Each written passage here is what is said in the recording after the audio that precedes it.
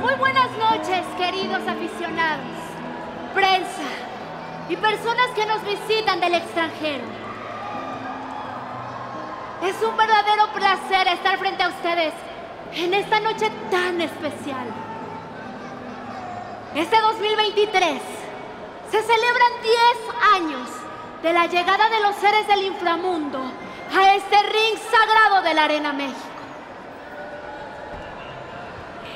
Y quiero contarles que esta noche estamos de fiesta. Vamos a descubrir si tendremos nuevo campeón o Stuka Junior seguirá siendo el rey del inframundo. Pero como ustedes saben, yo no vengo sola. Vengo con un ejército de calaveras.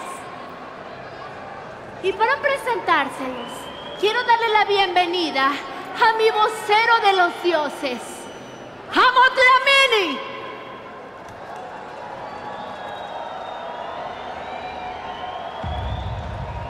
Yo soy Amot Lamini, el mensajero de los dioses, y conmigo vienen los guerreros más fuertes y poderosos del inframundo, los guardianes, que se encargarán de llevar a todos los perdedores al inframundo esta noche. Ellos vienen acompañados de estos pequeños y traviesos seres, los Cuicas, que sin duda alguna harán más de una travesura aquí en la Arena México. La deidad que nos dirige este año una de las más fuertes y poderosas. Él es Awisoti, mejor conocido como el perro de aguas.